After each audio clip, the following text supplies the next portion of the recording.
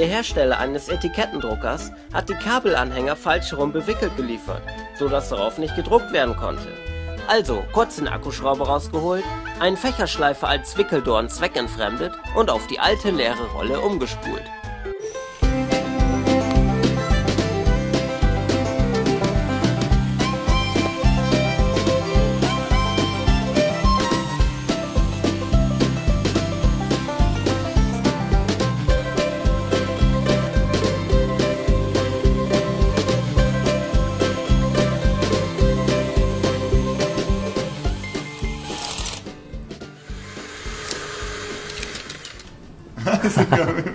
momento, momento, momento, momento,